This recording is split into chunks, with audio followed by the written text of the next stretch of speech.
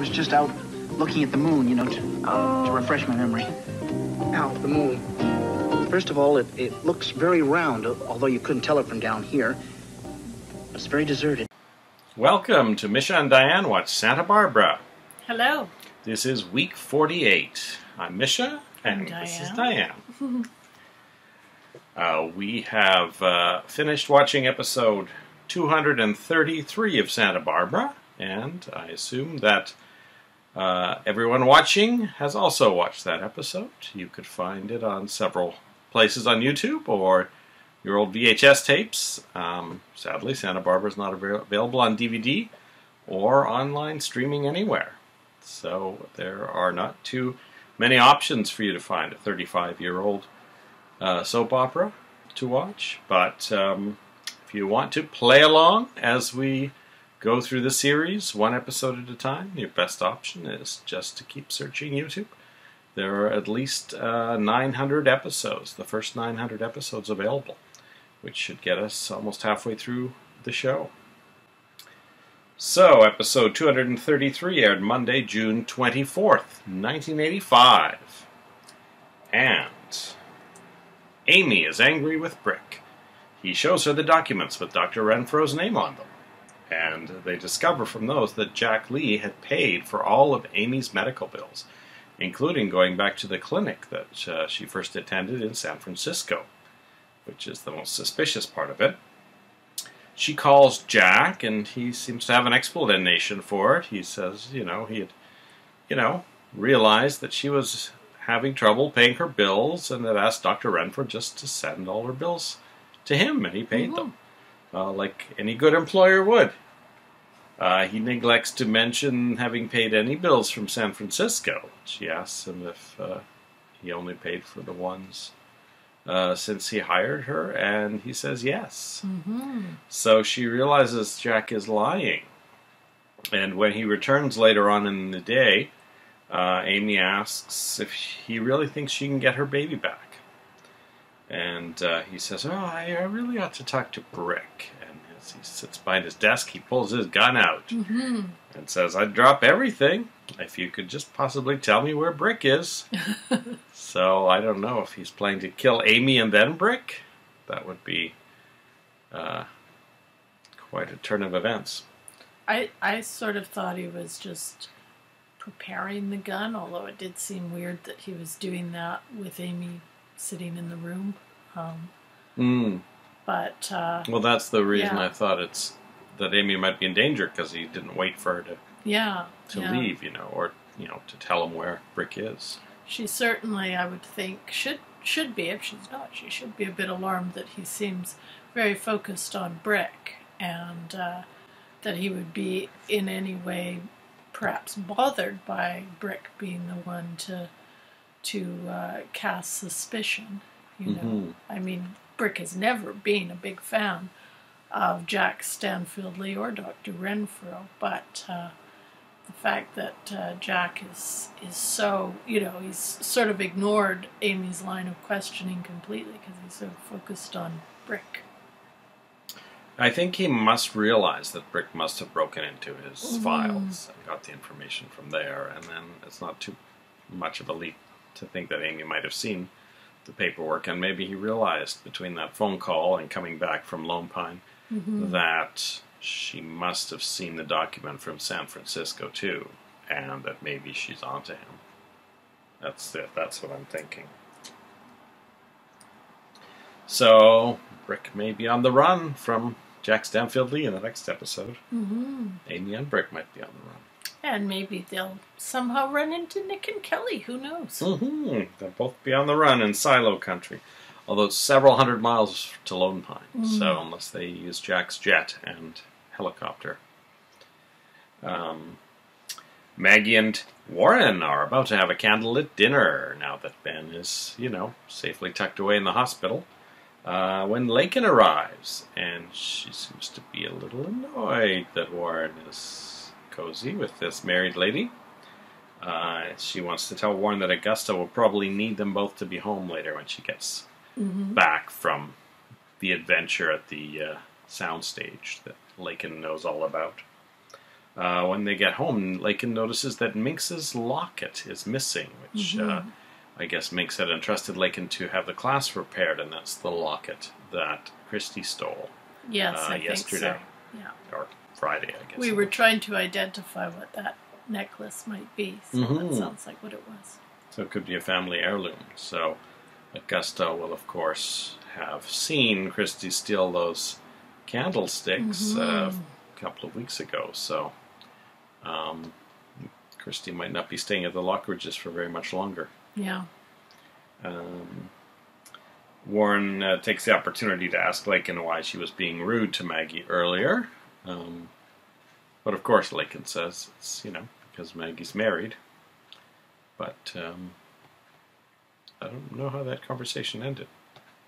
Yeah, I don't really remember. I think I must have zoned out a bit of it. Um, but uh, yeah, I, I, I always find it sort of amusing when Lakin becomes quite, you know, she gets quite moralistic about things sometimes, and certainly has with Ted as well. But, you know, then when we kind of look at the behavior of her parents, the fact that, I mean, just in this episode, she's sort of abetting her dad to um, deceive her blind mother in a soundstage with another man, you know, Mhm. that's not entirely moral behavior either. She says to Warren, I didn't know how to act. And then I think uh, Warren is kind of saved from that conversation when the phone rings and it's Maggie saying that she just got a call from the hospital and that Ben has gone into cardiac arrest. So Warren rushes over there and Warren uh, learns that Ben has been saved by the doctors. And Maggie says if he'd been at home with me, he'd have died. Mm-hmm. So they, uh, the doctors had said that they just got to him in time because he was already in the hospital. So. So she'll, I, I would think that would make her feel a little bit better about her decision to finally put him in, well, basically long term care. Mm-hmm, mm-hmm. Uh, earlier in the day, back up at Lone Pine, Kelly awakens and can't remember anyone. She can't even remember her own name. So either the machine has been on too long or uh, it worked a little more fiercely than Dr. Renfro thought it would. Mm-hmm. Uh, Faux Jack tells Kelly that Nick kidnapped her.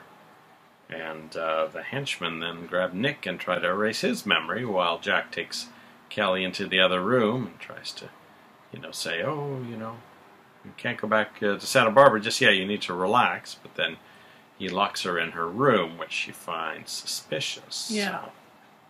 Uh, Nick manages to get the gun and uh, holds it on the henchman and Jack and Renfro and man- manages to get past them through the door into the hallway and bars it, I think with an axe probably. And um, Kelly comes out of her room, or he lets her out of her room, and he says that uh, they wiped her memory and that uh, they're going to try to kill her. And I guess she finds Nick just a little more believable than the others because she agrees to go with him. And uh, Jack or Renfro or one of the henchmen uh, smashes through the window uh, with an axe to get at the door lock. But Nick and Kelly manage to get on the motorcycle in time. It's interesting in a way to speculate if, if Jack hadn't locked her in that room and, you know, sort of seemed to undercut what he was telling her if- Mhm. if, maybe she would have stayed with him. Mm-hmm. Yeah. Well, I get the feeling that they're gonna gonna go with Nick has a good or Kelly has a good feeling about Nick just because of his kindly ways. So. She may have some residual memories stashed way back there too that are influencing her as well. Mm-hmm. So the two thugs, Chuck and James, fire at Kelly and Nick as they motorcycle away. So I don't know if that's going to ruin the plans to have you know Nick implicated in everything. If they end up shooting both Kelly and Nick, um, Renfro and Jack don't seem to stop them. And then Jack actually says, "You really botched this, Renfro." So it seems like Renfro is in charge of that operation Mm-hmm. and uh, maybe the higher ups will uh, not be too happy about this.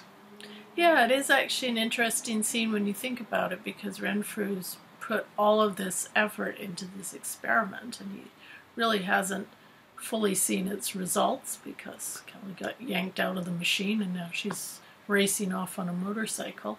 So you would think that he would be quite upset at someone shooting his subject before he's even had a chance to really examine them. Mm-hmm.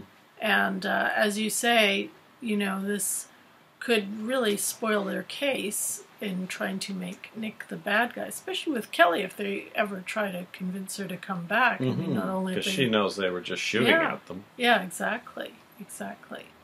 And I did, I, I was thinking, um, you know, when we, we were talking about uh, Jack Stanfield Lee now perhaps going after Brick, I was thinking, well, how many henchmen does he have really? Is he going to send them all off after Kelly and Nick, or is he gonna, Mhm. you know, he doesn't, that we've seen, he doesn't have a huge army of henchmen to pursue all these different angles. Yeah, Renfro, Chuck, and James are all in Lone Pine.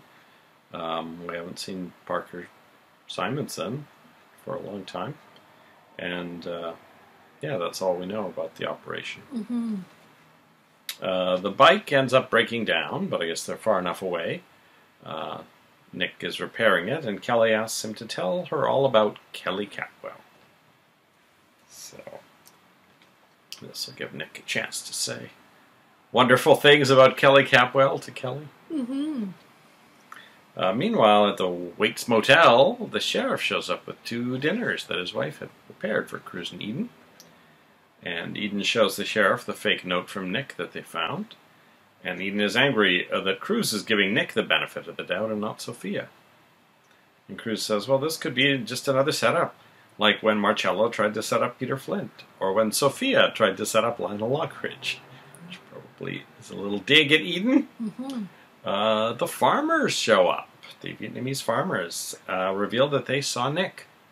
Uh, and I guess they decided that Cruz and Eden seemed trustworthy after all. Uh, but the Kelly wasn't with him, although Nick is looking for a woman, and they had uh, uh, told him that the old silo might be a good hiding place, and that's where he's gone. So, uh, Cruz and and the police officer, I believe, uh, the sheriff, go to the silos and they search six silos before finding the right one. Find some evidence of food and drink and some bullet casings that Cruz smells and says have been recently fired. And Cruz thinks Kelly and Nick are both in serious danger. So they're at the silos. I don't know if they're too late or if uh, if Renfro and the others are actually going to come back to the silo. So, I mean, the last time we saw them all, they were with Jack, and Jack's, you know, gotten all the way back to Santa Barbara. So, possibly they um, they are not coming back there at all. hmm So maybe our thought that the the nuclear silos were somehow involved in the plan are wrong. It just may have been a convenient place to hide that was abandoned. hmm hmm Now, back on the soundstage, Frank Armstead suddenly has a wig on that is somewhat reminiscent of the large amount of hair that Lionel has. And it's also gray, graying for no particular reason since Augusta's blind. Uh, Lionel is coaching Frank to continue kissing Augusta for five more minutes. Uh, Augusta continues to say disparaging things about Lionel throughout. Uh, and then uh, Lionel cues Harvey to start the romantic music, and the uh, hard of hearing sound man cranks up the 1812 overture to its loudest setting. Uh, Lionel dismisses the rest of the crew and then switches places with Frank, unbuttoning his shirt, and Frank actually has his pants off at this point. And Augusta actually starts at uh, the sight of his his uh, boxers but uh, manages to cover. And uh, Lionel does what they they had done a few weeks ago, where he switches places with Frank and starts kissing Augusta and, and wanting to be silent. But Augusta, of course, knowing it's Lionel, says, uh, "Oh, tell me more about the moon, Frank." Mhm.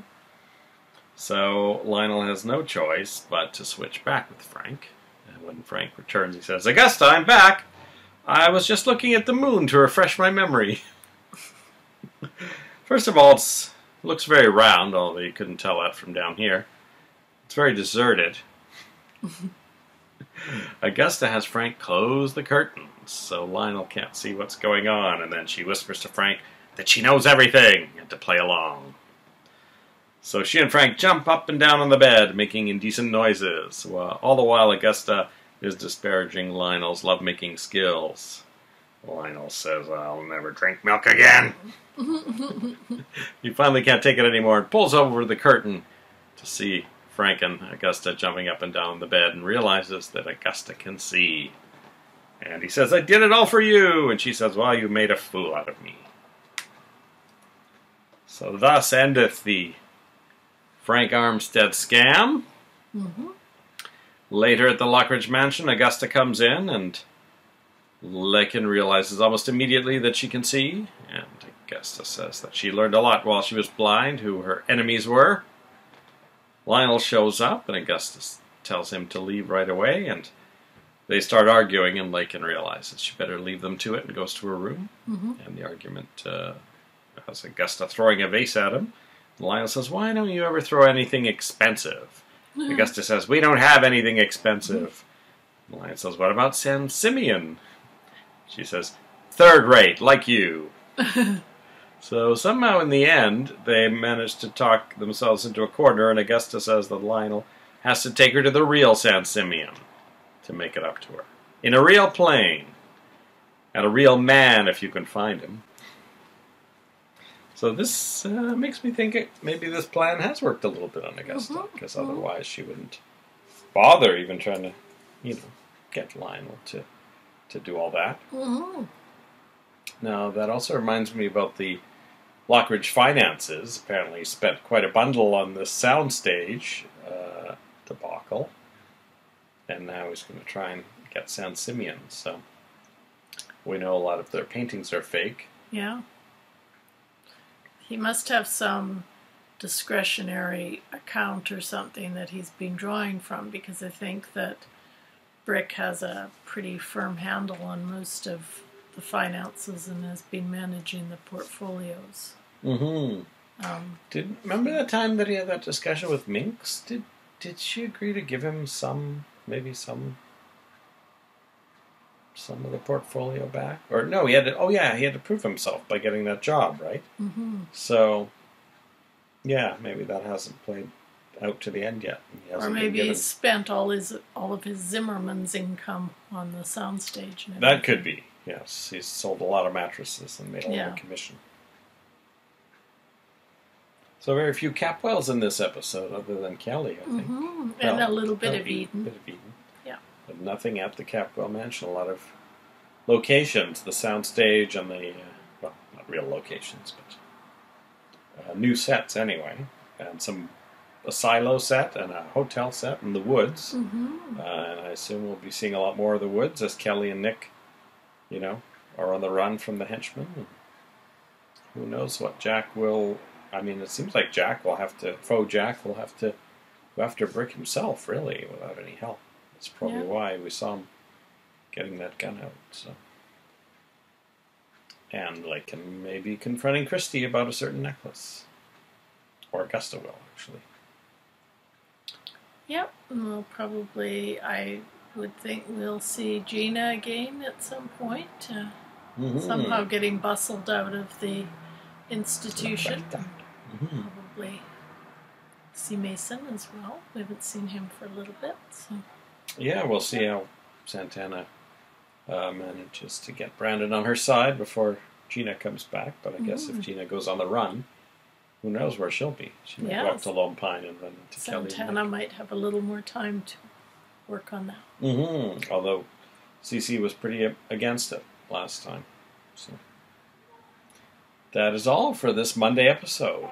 Uh, we will return in a few seconds, having watched episode 234, and presumably you also will watch that episode and pretend that it is 1985. June, oh, it's the end of the school year. So, summer holidays coming up.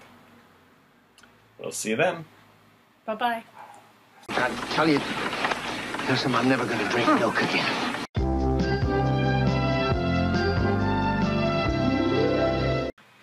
Welcome back. Hello. We finished episode 234 of Santa Barbara, originally aired Tuesday, June 25th, 1985. And I would have still been working at whatever summer job, and probably only seeing a few minutes of each episode in in real time, if any at all. Mm-hmm. Santa Barbara teen scene summertime fun time. Santa Barbara teen scene summertime fun time. Santa Barbara teen scene summertime fun time. Summertime. Lakin is having lunch at the Orient Express, and Ted is her server, and Christy is in her proper uniform for once.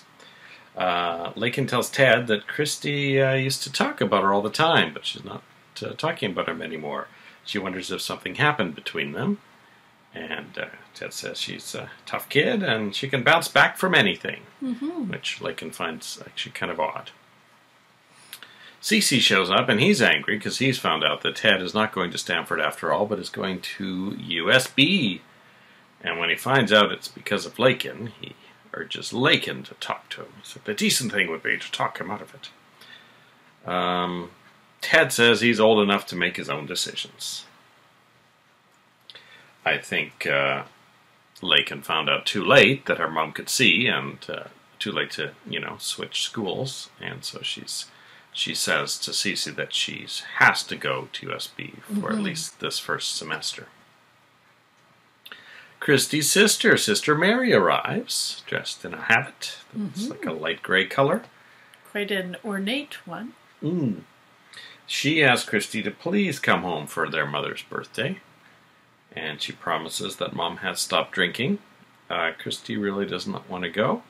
She asks if Steve will be there, and um, in the end, she tells Mary she's not going. Uh, Ted thinks it's funny that Christy's sister is Sister Mary, and uh, Christy tells Ted that she wants to be a better person. She says, Maybe I'll take a night school class in how not to act like a jerk. So, after a bit of a talk with Ted, she decides that she will go after all. Uh, but she returns having missed the last bus out of town, and Ted offers to drive her. So, I'm not sure what town the Duvals live in or how far from Santa Barbara that is, but sounds like it. You know, if there's a bus involved, it's going to be a couple hour drive. Well, I think her original story was that she was from Minnesota. Hmm. I doubt they're driving to Minnesota. But uh, maybe the mom doesn't live in Minnesota. Maybe the mom lives somewhere in California. That's what I'm assuming. It'll be like Chico or something. Santa Barbara teen scene summertime fun time. Santa Barbara teen scene summertime fun time. Santa Barbara teen scene summertime fun time. Summertime. Kelly looks at her own reflection uh, and uh, then says to Nick that uh, she likes that he's peaceful. So I think uh, maybe you know, with all the trauma Kelly's had, uh, this is kind of a refreshing change, not having to think about everything. Mm-hmm. Because Nick has told her all about the fact that she's a widow and everything, and she says she really can't get her head around it, and there's, there's nothing really in in that those stories that rings a bell with her. Yeah, in a way, perhaps um, unintended, I'm sure, by Dr. Renfro, but maybe this is actually being a little bit uh, medicinal for Kelly in that losing her memory has finally helped her get over Joe and probably Peter. the and Peter Marcello. and Marcello. Yeah. Uh, the farmers give them a week's worth of dried food, and uh, they head out into the woods. And at one point, uh, while is dancing with a tree, Nick is scouting ahead, and he finds them a ghost town to hang out in. And we were talking about how that probably seen that ghost town in numerous westerns, depending on where they shot that. I think we've probably seen it in a few old episodes of Mannix, and uh, I Mm. wouldn't be surprised if it's shown up in some other shows we've seen. Like I, I'm sure I, I've seen something like that in Adam 12. I think the Monkees ended Mhm. up in a ghost town at one point.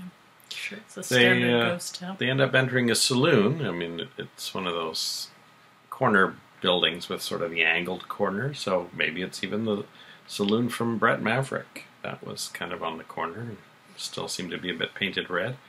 Um, and then when they switch to the interior of the saloon, I think it's no longer a location. It's uh, now a soundstage. But yeah, uh, Kelly gets another location uh, shoot, and Nick does too. So.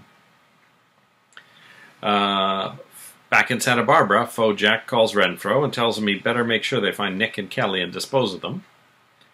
It's time to start reaping the rewards. New Staland or bust, he says. Uh, Renfro suggests that Faux Jack will have to look in on his cousin when he's in New Staland.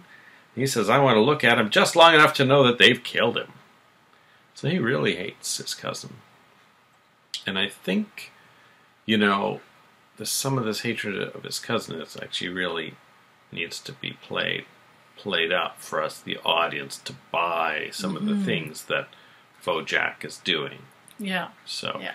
um, the fact that you know he's kind of letting Julia um, walk all over him in a way that might be jeopardizing their mission.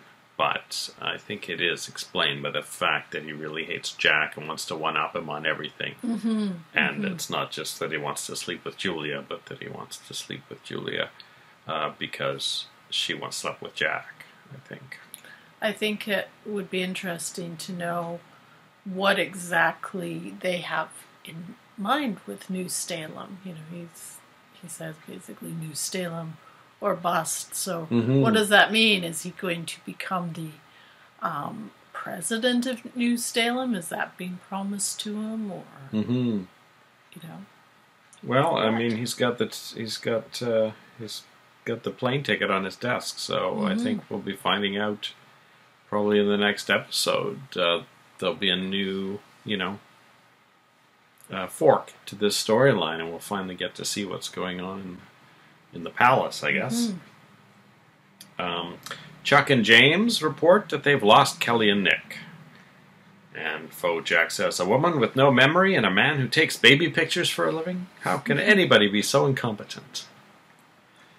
At the airport, not sure if it's the Santa Barbara airport or the San Simeon airport, uh, but Lionel is making a call from the payphone to try and get himself and Augusta into the bedroom at San Simeon.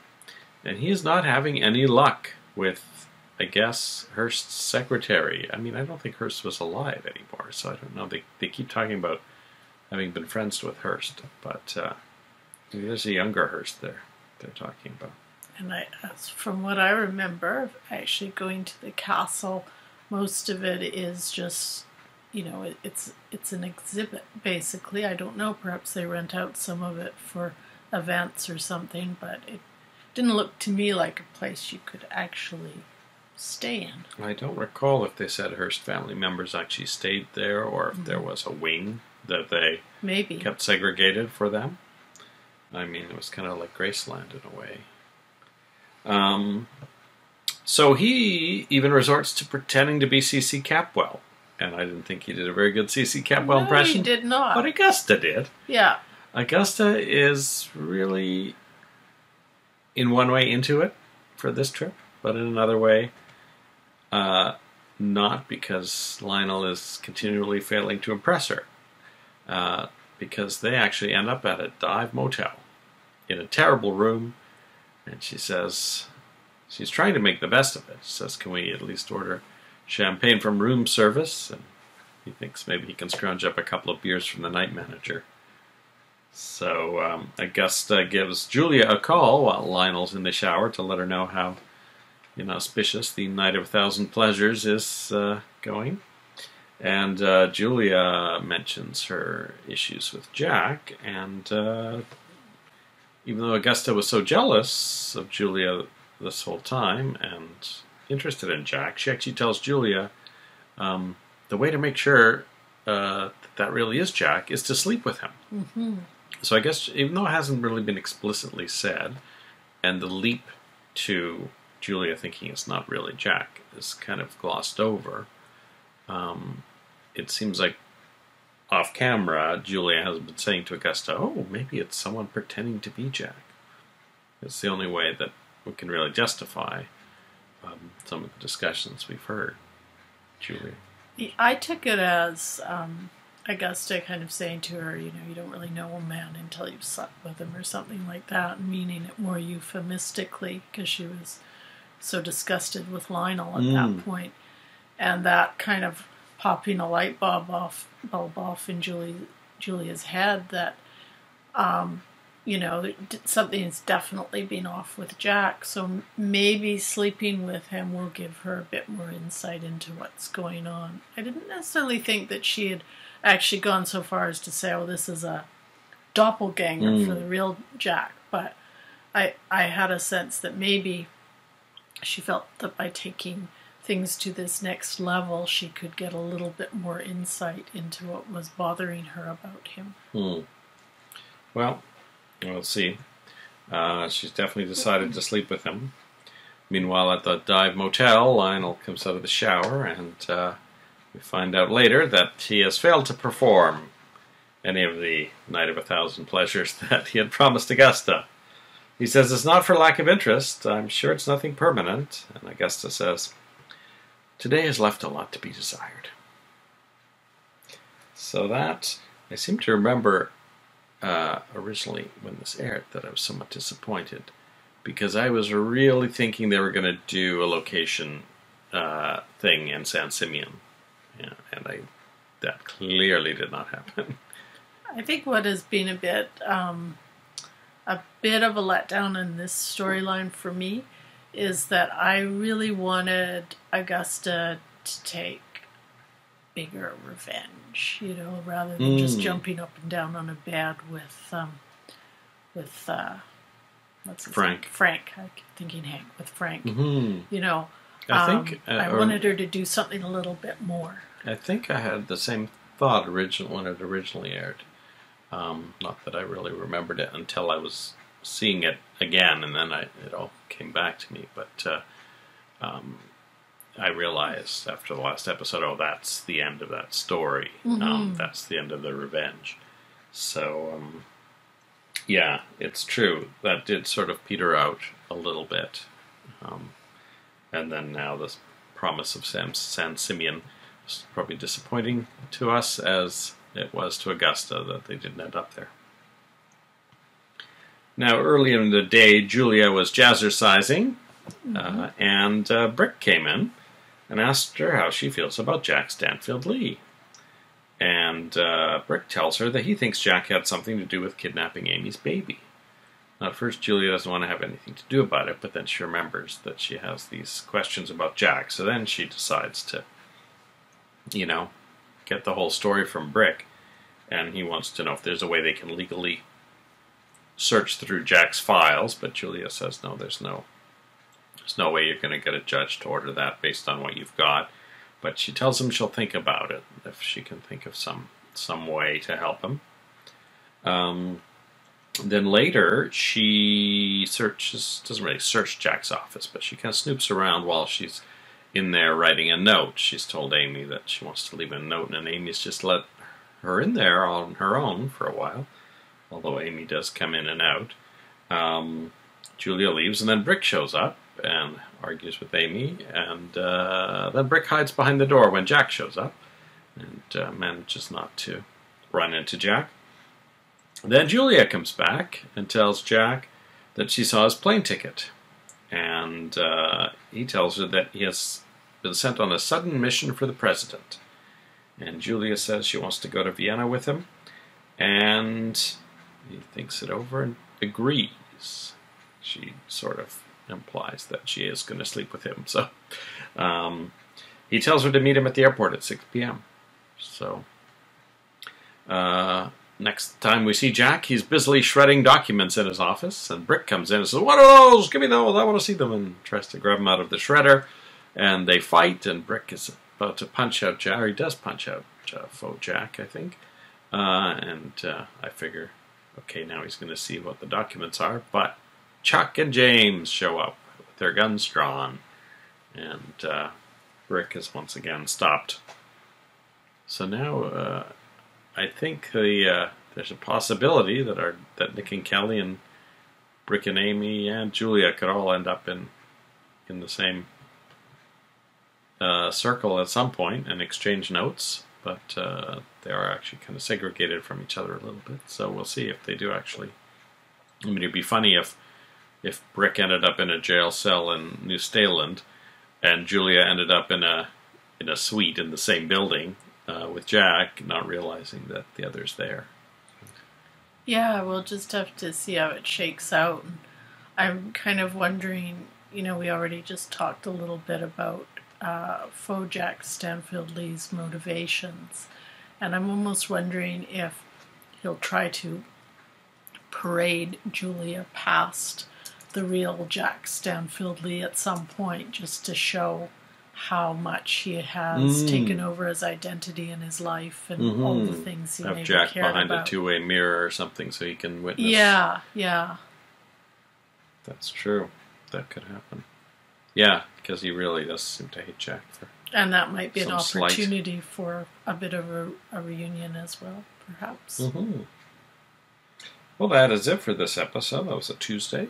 We'll be back for Wednesday, and uh, we invite our viewers to guess what I'm going to be for Halloween. Because in the real world, it's October 16th right now, whereas in Santa Barbara, when we return, it will be Wednesday, June 26th, when we watch episode 235 of Santa Barbara. See you then. Bye. Is that what you were waiting for?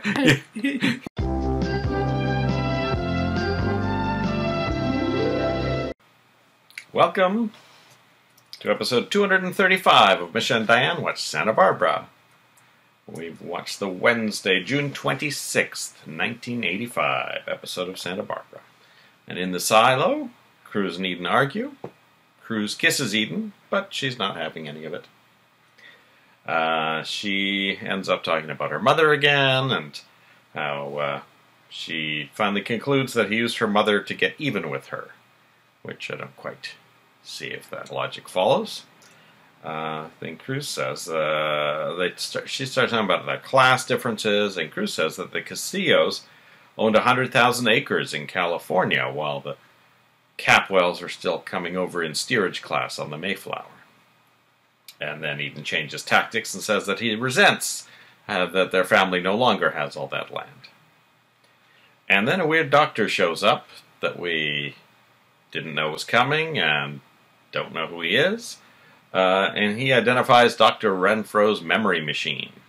He doesn't say it's Dr. Renfro's, he just says, oh, this is a machine that can be used to manipulate memory. So, um, not quite sure how he's familiar with that machine. He says there's only a few of them in the world, but yet Dr. Renfro, I think, claims to have invented it in an earlier episode, so I don't know if he's invented it, but also done seminars on how he's invented it uh, to the medical community. well, I think the doctor says this is a type of memory machine, so that suggested to me that there's several different kind of models out there, although I would Mm. think it would definitely narrow the search down to who is is a, a candidate for being responsible for this Mhm. because there's only a certain number in the world and I expect, like many pieces of highly specialized equipment, there's only a very few people who could operate it. So, I think it's surprising that they would have left such an expensive piece of equipment behind yeah, because, you know, he had several different people going in different directions, and really Chuck and James were the ones responsible for chasing Nick and Kelly, and both Jack or Dr. Renfro could have, you know, grabbed that machine, I think. Yeah, I, I, I think that's a really good point. If if watching old episodes of Mission Impossible and even early James Bond movies have taught us anything, that a piece of high tech equipment um, is not something people just um, leave lying around and forget about. Mm-hmm. That's that drives the entire plot of some movies. Meanwhile, in the ghost town, Nick and Kelly hang out in the saloon. They find an old camera, they find uh, a water pump that they get working, and uh, they find a player piano which plays Sweet Georgia Brown. Number one hit of 1885. Um, but Nick backs away whenever, whenever Kelly tries to touch him, which she doesn't really understand, but of course he doesn't want to take advantage of her with her memory being wiped. Uh, kind of like how uh, Robin Wright is playing Kelly now, as kind of childlike with Yeah. you know her memories missing. Mm-hmm. Santa Barbara summertime fun time teen scene. Santa Barbara teen scene summertime fun time. It's Ted and Christy driving around uh, California. Why did you lie to me about being from Minnesota? Is the first thing Ted says. So this is interesting because we were just talking about that yesterday and whether they were driving to Minnesota or not. What's wrong with being from Madera? which, according to the map, is somewhere north of Fresno. I think it's even further from Santa Barbara than Lone Pine is. Um, and then uh, Christy asks about Ted's family, and then Ted says, You have a brother, don't you? And Christy says, He's a stepbrother. He was already there when my dad met my mom. He's the assistant DA in LA, which Ted thinks sounds impressive. Christy says, "Yeah, I used to think that, but then I find out he's like one in a hundred. so he's basically the same job that Mason had uh, when we first started the show. Yeah, it really makes me wonder if we're going to meet him at some point. We may have uh, Mason and Julia and and uh, Christy's brother all in a court case together. And Lindsay, and Lindsay. Got four lawyers on the show then. Um, Ted discovers, just as he's dropping her off, that Christy forgot to get a gift for her mom. Christy says, Oh, well, I'm here. That's her gift. So uh, she doesn't want Ted to come in, so he drives off, and Mary answers the door. And Christy's mother's just hiding a bottle when Mary opens the door. And Theda Bassett is being played by Grace Zabriskie, who uh, you may recognize as either Laura Palmer's mother from Twin Peaks, which filmed about five years after this, Mhm. or Susan's mother from Seinfeld, more like uh, 15 years after this. So, um, Ted returns, and he has a gift and pretends that Christy had left it on the seat of his Jeep. Yeah. And uh, Theda says, Nice looking Jeep. Reverse chic, they call it. I bet that one costs big bucks. So we see where Christy gets her obsession with money from. And Ted says, Well, I wouldn't know. So it's implying that he got it as a gift, I guess, or he's just trying to be polite and not talk about money. Mm-hmm.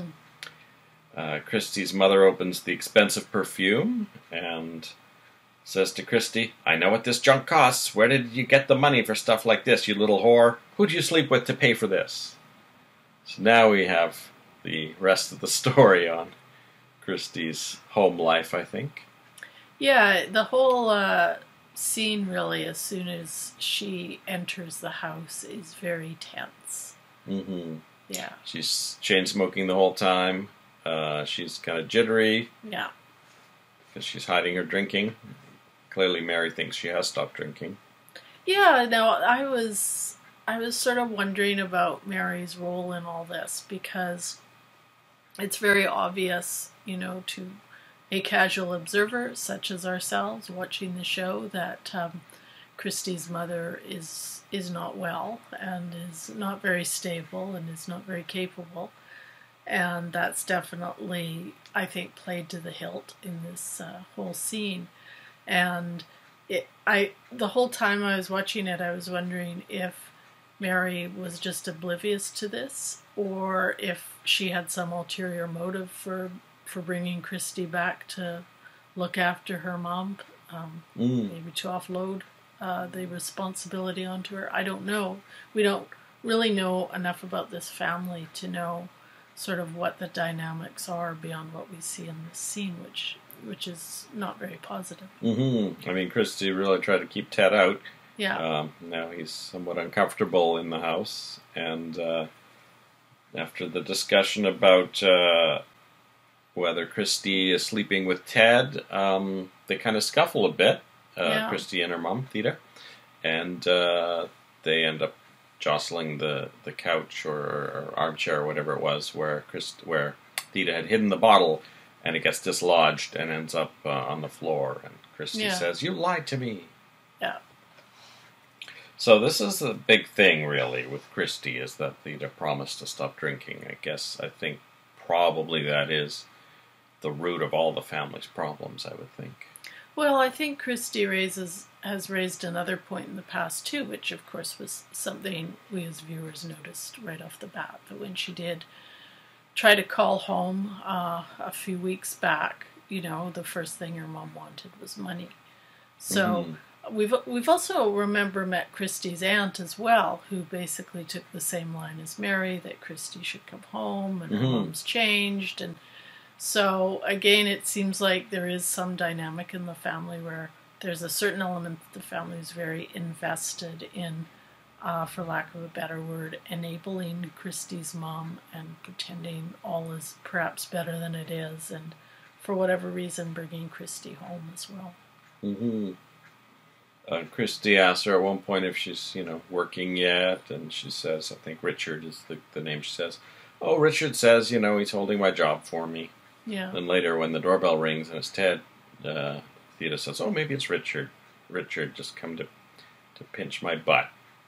So I don't know where she works, but clearly this is some kind of weird yeah, work environment as well. At least looking at it from 2020 eyes. yeah, And uh, Ted mistakenly calls uh, Theda Mrs. Duval, and she says, "Oh no, it's Bassett. I uh, I uh, met Christy's dad after I was married to Mr. Bassett, or something like that." So, and I guess Mary's a Duval too. So the old the brother, the older brother must be, or the brother must be older than both of them.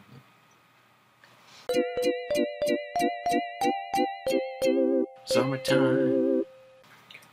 back in Santa Barbara, they kind of did a re-staging of the scene we saw in Jack's office. This time, we see Brick has knocked Jack unconscious. Jack is lying there, faux Jack, uh, and then James and uh, and Chuck burst in as Brick manages to get out of the um, out of the office. So. Uh, Jack shouts to them, "Don't come back before he's dead." So once again, Brick is being chased, or someone's being chased by Chuck and James. Uh, Brick runs to the Lockridge house and gets Lionel's gun from the desk drawer, where we know he always keeps it from the murder. And uh, Julia's there, and he says, surprises Julia by saying Jack is trying to kill him and probably kidnapped Amy's baby. Uh, Julia goes directly to Jack's office and uh, runs into Amy and tells Amy she doubts Jack has Amy's baby or is trying to kill Brick which is kind of interesting. So, you know, she has her suspicions about Jack, but she doesn't think it's that. It's quite as excessive as Brick thinks, which is odd, because clearly he's a bit worried, worried enough to get a gun. Although logically, would you necessarily leap to that? You know, unless Brick has been much more intimately involved with this than Julia has. But I'm sure I she'll guess come he around. didn't. I mean, I thought he told her the whole story, you know, but Yeah. uh, earlier in the last episode. So Brick uh, breaks into Jack's hotel room and waits for him, only to find that. Dr. Renfro lets himself in. And he ends up knocking out Dr. Renfro and bringing him to the Perkins house and ties him up in a chair. And then he and Amy threaten Renfro. Amy says, Tell me where my baby is. And Renfro says, You'll die for this, both of you. So he's kind of dropped some of his pretense there. Uh, that they doesn't know what's going on. Mhm. Um, Brick tells Amy to play bad cop, and Amy takes the gun and says, "You're going to tell me where my baby is right now, or I'm going to pull this trigger." So that's where we've left Doctor Renfro.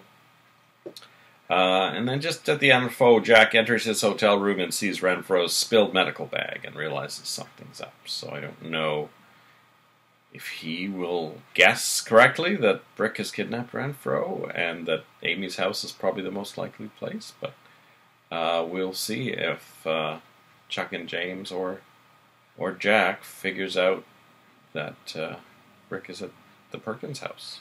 I mean, that's where he lives, I guess. And I guess we'll also see, you know, I mean, one thought I had was, or one question I had was how invested Jack is in Dr. Renfro. Really, I mean, he's Because Got he's on his way out of town. yeah, he's got a plane ticket to New Salem, and it didn't necessarily sound like he was coming back. I mean, if he's expecting to take over the country or something, so um, maybe maybe Renfro is still um, is still in play because he could definitely finger Jack as being part of this, and you know all the other things he's been involved with. But you know, at some point he might be expendable to faux Jack as well. Mm-hmm. Yeah, Faux Jack may just said, "Oh, I'll go out of town and leave Kelly and Nick Yeah. and Brick to, and Amy to Renfro to Yeah. deal with." So that's a Wednesday episode. Kind of an exciting Mm-hmm. Wednesday. Anything else you want to discuss in this episode? or- Not really. All right, we'll be back after we watch episode 236 of Santa Barbara. See you then. Bye bye. All right. Well, uh, drop me a card when you get to Vienna. Let me know how you're enjoying the pastries. Don't eat too many of them. How long do you plan to be gone? Two and a half weeks if everything works out all right. And if all goes beautifully? Do you ever keep your thoughts to yourself, Mason? Welcome back. Hello. We finished episode 236 of Santa Barbara, originally aired Thursday, June 27th, 1985. Santa Barbara teen scene summertime fun time. Christy accuses Mary of lying to her about her mother's drinking. And I don't think Mary really uh, rebutted that. I think Mary kind of looked a bit guilty, actually. Mm-hmm, But then she is horrified to find that her brother Steve has shown up at the party. Christy says she wants to go back to Santa Barbara immediately, but Steve grabs her arm and forces her into the living room. He says, We haven't had a chance to talk for a long time. Steve says he doesn't like it when Christy and Theda fight. Christy starts to cry and runs out of the house, uh, where Ted is still starting up his Jeep, and Christy gets in the Jeep and drives away with Ted, even though he does try to talk her into staying because they drove all that way. Uh, Theda and wonders why Christy's visits always go so badly. then Steve announces the good news that he's the new district attorney uh, in Santa Barbara. Or is it a s- no assistant district attorney? I think he's basically going to be doing Mason's old Mhm. job, which should be really fun. He's the new assistant district attorney in Santa Barbara. So he'll be able to keep an eye on Christy. I somehow don't think Christy will be too happy about that. No, no, I felt kind of sorry for Christy in this uh, whole thing because she's the one being yelled at and smacked around, and uh, no one really seems to be taking her side of things, including Ted, who offers her this little bit of moralizing at the end about the importance of family. Mm-hmm. Obviously, today, if this were caught on a phone camera, you know, Christy's mom would be in the middle of a Twitter storm and probably arrested or something. So, Yeah, it doesn't look like she had a happy family life. I can see why she doesn't like to go back, and I think she pretty much said this was the last straw for for her. yeah, yeah, and uh, you know, maybe we'll find out a little more down the road why everyone in the family seems so invested in her um, remaining in the family and, and why they're so invested in her um, making amends um, with her mom and why they're so protective of, of the mom as well. Mm-hmm. mm-hmm. Christy fantasizes about Ted on the ride home. Mm-hmm. She's got a fantasy of she's living in the Lockridge mansion, and she's dressed up in what I, I believe looked a bit like uh, Madonna's Material Girl dress and go and diamond necklace. And she fantasizes about Ted in a tuxedo coming to visit, and then she reboots her fantasy a little bit and tones down her dress slightly.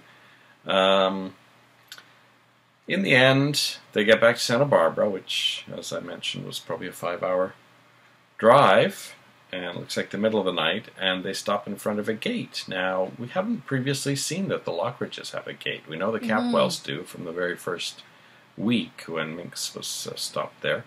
But uh, looks like the Lockridges also have a gate.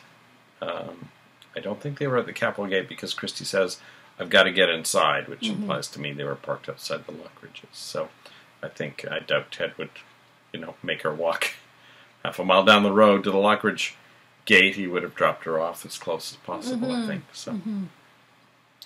Um, it's interesting they have a gate because of last week, you know, last episode. Jack Stanfield Lee was waiting for Julia and getting the car going, and I presume he parked up the driveway, but maybe he was parked on the road in front of the gate, and that's why he was gone so long when when Julia was on the phone with uh, with uh, Brick. Maybe they're at the back. Well, looking at that map of uh, of uh, that road that we had last week, the back I think is the those canyons or those you know that desert terrain that goes into the canyons and cliffs and caves that we saw Ted and Warren horseback riding in previously, and Santana getting lost uh, that one time. So I think there's only just that one road. Summertime. Back in Santa Barbara, Cece has summoned Mason to find out how he tricked Gina into signing over control over Brandon Brandon's trust fund. He thinks Mason blackmailed Gina, and Mason just says, "Oh well, she had something I wanted, and uh, I had something she wanted, and we made an exchange." Uh, at the same time, Santana has shown up because uh, she mentions Rosa has the flu, and Mason uh, jabs at her, saying, "Oh, you took advantage of that to come and see Brandon." Uh, so it's interesting that uh, Mason's totally on Gina's side now, but over Brandon. Which, you know, previously I would have thought Mason might have been a, a good ally for Santana uh, to try to get Brandon, but I guess she was out of town at the wrong time, and now Mason and Gina are, are really much closer. Yeah, and I, I feel like um, she's had a somewhat fiery relationship with Mason ever since she she got back. Yeah, and her relationship with Cece is not good either. So, No, no. Um, Santana says that she doesn't think Gina will ever get out of uh, rehab, but uh, Brandon overhears and uh, misinterprets that to mean that Gina will never be coming back. So he starts crying. Uh, so Cece asks Santana to go visit Gina and find out how Mason talked her into signing over the trust fund control. Uh, so Santana goes for a visit, uh, tries to make it go a little better than the last one by opening with a gift from Brandon, but when she slides in, oh, why did you sign over Mason as the uh, as uh, the controller? She tells Santana to mind her own business. Now we're uh, assuming that Gina is still pregnant at this point. Mm-hmm. They haven't actually talked about it. For She doesn't look pregnant, but you know it's hard to tell how time goes in these soap operas. Mm-hmm. Gina calls Mason and begs him to come, and she tells him about Santana's visit. He actually says, "Oh, did she uh, try to get you to tell tell her why uh, why you signed over control of the trust fund?" And uh, what did you tell her? She says, "I told her to mind her own business." And then uh, she wants to get uh, borrow some money from Mason, and Mason has three hundred dollars. He says, "This will have to be a loan because I really can't afford to give you three hundred dollars." So uh, as soon as she gets the money, Gina sends him away, and then goes over to Marcia and says she'll pay anything to get out of La Puerta. I think she's oversold it because she really only has three hundred dollars. She should have said, "I'll pay you three hundred dollars to get me out of here." And I found actually this conversation a little bit confusing because I thought that in one of our previous conversations between Gina and Marcia, Marcia sort of said, you know, I could get you out of here. Mm-hmm. And uh, in this conversation, Marcia is like she has no idea what Gina's talking about. I think it's just another case of a different writer writing this episode. Mm-hmm. Maybe the beats had been uh, written down, but not not thoroughly, or enough time has passed that they thought it needed to be restaged for the viewer who Mm, might not have seen, you know, last week's episode. Julia tells Mason she's going to Vienna with Jack because his personality has completely changed. Mason says, Drop me a card when you get to Vienna and let me know how you're enjoying the pastries. And Julia said, he asks her how long she's going for, and Julia says, For two and a half weeks if everything works out all right. Mason says, And if everything goes off beautifully? So she doesn't actually take take uh, that in a in a lighthearted spirit.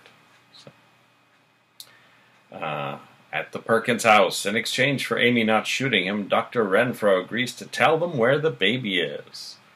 Unfortunately, Chuck shoots Dr. Renfro through the window of the of the Perkins house uh, before he can say where the baby is. Brick and Amy run out the back as Chuck, James, and Faux Jack come in the front door. Faux Jack uh, tells Renfro, and Renfro says, Oh, get me to a hospital. You're expendable! And he just leaves Renfro there to bleed. So Renfro, I think, has had enough with Faux Jack. He says, They'll get you too someday. Amy and Brick are determined to get you. They're crazy. They'll kill you. You'll still have to deal with the real Jack Lee. You aren't half the man he is. Not even. Ugh. And then Dr. Renfro dies. So he managed to get a good dig in on Faux Jack, because that's exactly the sort of thing that that he would be uh, sensitive about. Is the real Jack Lee. And we were actually speculating in our last episode how this was going to go. Because we were saying at some point, uh, Dr. Renfro will be expendable to Faux Jack if he's on perhaps a one way ticket to New Salem. Mm-hmm. So we have uh, seen the end of Dr. Renfro, another psycho, on the show. Um, in the car, Amy finally believes Brick. Uh, he calls Julia, Julia to warn her about Jack, but Julia decides to go to Vienna with him anyway. Uh, Brick and Amy check into a motel, and uh, Amy says she doesn't want to get married until they find Johnny. And Brick says, You don't want circus blood in your family? And they sleep together for the first time, which I'm sure some viewers might care about. It was a, it was um, staged very romantically, you know, as you would expect a, a soap opera love scene to be staged. So Mhm. obviously, at least for the writers, it's just something they were building up to. I think their motel was nicer than Lionel and Augusta's was, so Yeah, I don't know actually it how might even have been a Lionel hotel. and Augusta managed to find such a terrible uh, motel. Well, I think if they were up near San Simeon, I don't think there was a lot up there that I recall. Was, I seem to remember just a our highway? hotel being fairly nice, but yes, there No, wasn't. well, that was a few there. blocks, a few miles away though. Yeah. Maybe it was six miles, but I don't know. Uh, it I- sounds like Lionel left everything to the last minute. So I mean, honestly, though, if they live in Santa Barbara, they could. They probably they didn't have driven to do a day trip. you know, they could have done it in a- in a day, gone there and back. I mean, I think maybe overnight. Lionel had to avoid the hotel that he used to go to with Sophia because that would have been Hmm. kind of gauche. So maybe that is how he ended up just pulling in there because he was worried if he kept driving much longer, he'd run into that hotel. Yeah, Yucca Flats Motel, wasn't it, or Yucca something like that. Tree or Yucca Inn? Yeah, the distances aren't really that much. No. At the airport, Julia is reading an article while Jack makes another frantic call, and um, the article happens to be about plastic surgery, and she suddenly gets the thought in her head what if maybe this guy isn't Jack and he's had plastic surgery to look like Jack? And I guess she's uh, she's uh, thinking it's enough of a possibility that she makes the decision just to leave. And just as she gets up, Faux Jack comes up behind her and grabs her case and says, Time to go! And he starts walking toward the gate. And she's got no option but to follow him. So Julia is going to Vienna, one way or the other. And that is that is it for this episode. So we've lost Dr. Renfro, played by Jordan Charney, but we've gained Steve Bassett, played by Ashby Adams. So hmm once again, they've done a swap of a minor, you know, supporting character, I guess, uh, on us. And we've also seen the last this week of Q Chin and Jim Ishida, who played the farming couple. Ah, And uh, Dorothy Dells also has had her final episode. She's played the nurse at La Puerta in, I think, three three episodes. Ah. So that makes me think Gina might be getting out of there tomorrow.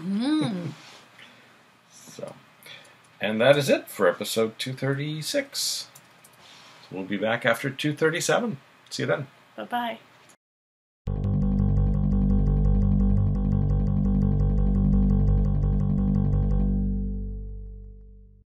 Dr. Renfro arrived in Santa Barbara, ostensibly because he had heard of Amy Perkins' difficult pregnancy and wanted to offer his services as a specialist in the field.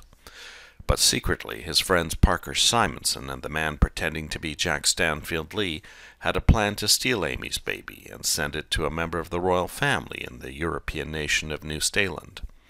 Unfortunately, Brick began to suspect Renfro. Kelly Capwell ran afoul of the conspirators when she spotted Jack's doppelganger cousin smoking, and he enlisted Chuck and Larry to capture Kelly and Nick Hartley. Dr. Renfro psychologically tortured Nick, and then used his autonomic limbic retrograder to wipe Kelly Capwell's memory. But Brick got the drop on Dr. Renfro one night, and as he was about to crack and reveal the whereabouts of Amy's baby, Chuck shot him, and Jack's cousin left him to die. Thus, Dr. Renfro joins the residents of Santa Barbara Cemetery.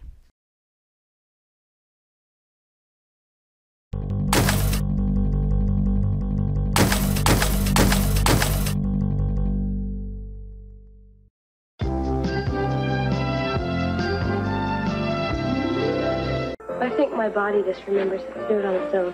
Uh, it could be. Wonder what else it remembers. Wonder if it remembers how to make love. Welcome back. Hello.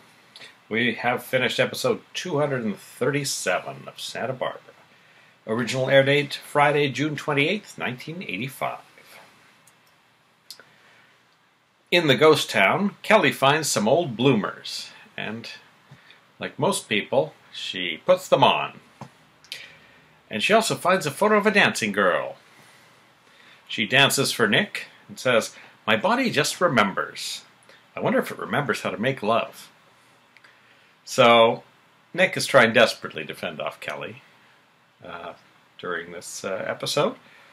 Uh, she breaks through the floor of the stage during her dancing and finds a strong box with the diary of Bridget LaBelle, a madam who once worked at the saloon. She reads passages to Nick throughout and then decides that she's going to have a bath. So she prepares a bathtub for herself and tries to get Nick to join her, but he refuses. So she ends up getting him to scrub her back as she reads naughty passages from the diary.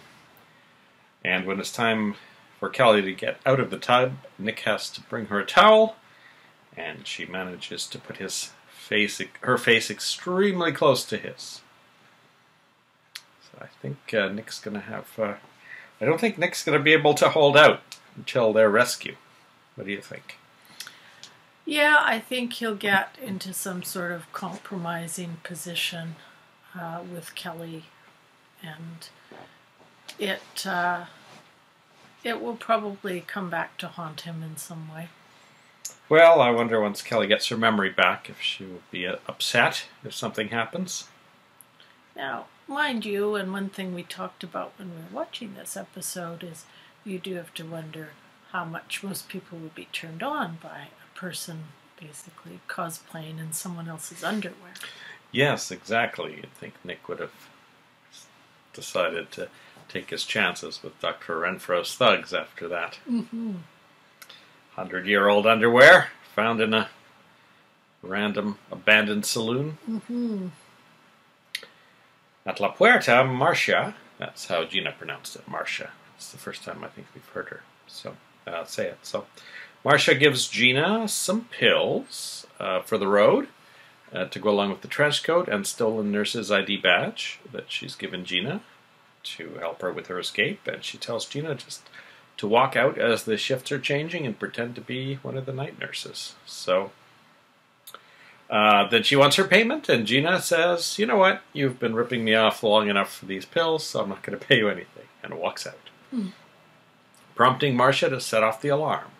But the next time we see Gina, she's at a payphone with the alarms going off in the distance. And she calls Mason, who picks her up and takes her to Sally's apartment. Mm-hmm. Um, next time we see Mason, he's picking up Brandon to take him to an early movie. Um, there's a showing of Bambi, which he recalls Cece taking him to when he was a kid. So they go, but instead of going to the movies, Mason takes Brandon to visit his mother, Gina. Mm-hmm. So Brandon's very happy with it. And uh, they seem to be in Sally slash Kelly slash Mason's apartment. Mm-hmm. When Cece gets the call about Gina's escape, he starts to suspect that Mason was in on it and that uh, Gina had enticed him to bring Brandon to her. Mm-hmm. So he's a little bit surprised when Mason comes home with Brandon after only half an hour. And uh, Mason says, Oh, the movie was too full, so we just went for ice cream. Mm-hmm. So he's asked Brandon to keep it quiet about Gina. So uh, Santana, of course, has shown up again, uh, with Rosa still being sick, and Cece's not entirely happy with her for trying to insinuate herself into Brandon's life again. But um, then he does agree to let Santana take Brandon home uh, for safekeeping while, you know, a potential kidnapper is out there who's theorized to have Kelly and Rosa's sick and Gina's now on the loose. So he uh, sends Brandon home with Santana. Mm-hmm. Uh, Mason mentions to Gina later where Brandon is, and Gina thinks to herself that Sophia and Santana can fight over Cece as long as she has Brandon, and she shows up at the Andrade house in a taxi, and uh, Brandon's sitting outside on on a uh, cast iron bench that I don't know if we saw last time we saw the Andrade house, which had a huge porch. Uh, during the explosion, I recall, but maybe it's been retooled during the rebuilding. Uh, and Santana's just gone inside to fix lunch for Rosa when Gina shows up, and Gina manages to talk Brandon into coming with her in the taxi and leaves Santana a note saying that the boy is with his mother. And I, I think uh, this whole episode shows Gina. You know, she's she's pretty um, cunning in a lot of ways, but she also tends to make choices that can definitely potentially make her situation worse. Mm-hmm. So, for example, with Marcia, instead of paying her and making a, a clean, quiet exit, she chooses that moment not to pay her, and of course, ends up with the alarms blaring and barely making it out. Mm-hmm. And of course, with Santana, instead of sort of holding tight and maybe waiting for things to settle down a little bit, she comes and gets Brandon. And not only does she get him, but she leaves a note, which, uh, you know, if she hadn't left the note, they might think he had wandered off because they'd had a conversation actually about him wandering into traffic. And, you know, it might have been even an hour or so before they'd noticed him fully missing. So, Mm-hmm. And she's in a taxi, and she's got a bag full of pills. yeah. So I don't know if she's planning to go back to Sally's, but I think that's the first place Cece's going to look. Now, I was kind of wondering though through this episode where you've got this whole thing of Gina escaping, and I don't know, maybe the law is different in different places or whatever, but it would seem to me that if you're just in a rehab facility, you know, you can't necessarily be confined against your will unless you've been, you know, isn't that more something you would find in a in a mental institution? Well, we had uh, we did have Marcia say most of the people here are here voluntarily when Gina 1st Mm-hmm. went there. So the implication is Gina's commitment or whatever committal committance is not voluntary. Mm-hmm.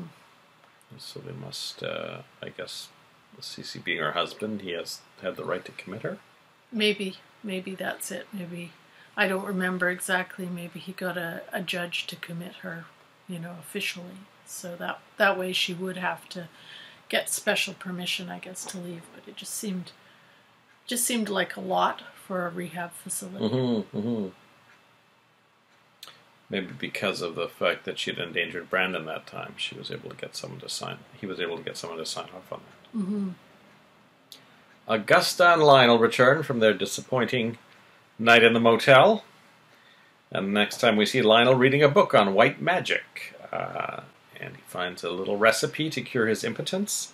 He whips up a dubious potion with some uh, ingredients that he has to seek out, such as powdered Tibetan yak horn.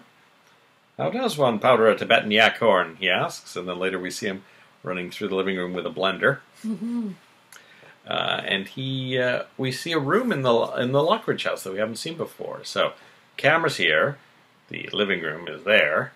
The back door on the left goes to the dining room. We found out the one on the right, of course, goes to the basement, and then the front camera right, uh, which we always see people going to, um, that's where Lionel runs with the blender, and then we actually see a little room the nature of which is not really known. It didn't look like a bedroom. We just saw a little table. Mm-hmm. Um, but Lionel mixes up his potion there, and he smells it and balks at drinking it. But then he hears Augusta knocking, so he quickly downs it, and he gains confidence and opens the door and grabs Augusta and starts kissing her. But once in bed with Augusta, he fails to perform once again. So the turns out the potion is not Mm-hmm. not really effective. At the Capwells, we see a new butler, I think, Harold. Mm-hmm. Yeah, I don't think we've seen him before. And he won't let Christy in. Uh, Ted ends up having to come to the door, and uh, he says the security's tight since Kelly, you know, went missing. Mm-hmm. Uh, she tries to pay him for the perfume that he'd bought for her mom, and she, he refuses to take the money. Uh, now, Cece, of course, uh, has been annoyed with Santana for being too motherly towards Brandon, so decides that what he needs to do is hire a governess for Brandon. Mm-hmm. So at the Orient Express, uh, Christy uh, tells Ted that she's probably going to quit after the next paycheck. Ted says, Oh, well, maybe you could take the job as Brandon's governess. Christy says, Hmm, like a female governor. Says, More like a babysitter. Mm-hmm. Um, following that, Augusta catches Christy returning Minx's locket to the table where she had previously snagged it, so presumably she had hawked that for a while. Mm-hmm. Um, and Augusta reveals that she had seen her returning the candlesticks, and while Christy um, tries to, um,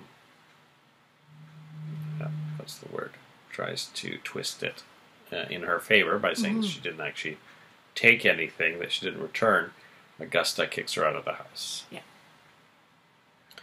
And she thinks, ha, tells Laken, tell, tell your mom I'm going to be living in the big house next door. So, so there. Um, so Cece uh, remembers being waited on by Christy uh, the one time as he interviews her for the governess position, and Mhm. she doesn't have a resume, but she says, "Well, I don't take drugs if that's what you're thinking." and somehow, uh, you know, his her tale about wanting to take Brandon to the library to to read him some books that she mentions that she likes uh, was enough to push CC over to her side, and uh, he ends up hiring her. Mm-hmm. I think I think Cece's a bit charmed by her. I, I because she was quite flirtatious with him in the restaurant, Mm-hmm. and I think Cece does rather like that. Mm-hmm. That's true. So Ted helps Christy move her things. She's got five rec- record albums in Laken's Mhm. room, and that's when uh, she tells Laken to tell your mom that I'm moving into the big house next door. Uh, Ted does remind Christy that he lives with Mason, so they won't be hanging out all the time at the at the Capwell house. Yeah. Uh, and then Laken gives Christy the good news. While you were gone, your brother called. He's the new assistant DA in Santa Barbara. And Christy does not look happy, so Christy does not look happy. it'll be kind of interesting to delve into that relationship a little further. And I'm also going to be really interested to see how Steve and Mason interact, the former and the present assistant district attorney. Mm-hmm. Yeah, I wonder if they will have a chance to interact in some way. Mason, Mhm. perhaps as a lawyer, and Steve Bassett as assistant district attorney. Mm-hmm. And that brings us to the end of week 48. Next week is week 49, which uh, will be a bit of a shorter week because next week we have Dominion Day, or as they've recently started calling it Canada Day.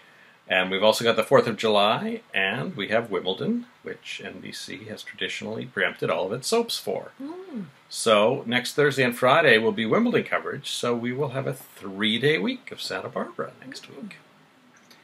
And we will be losing a long-time cast member. Any guesses as to who? Well, let's see. How long term?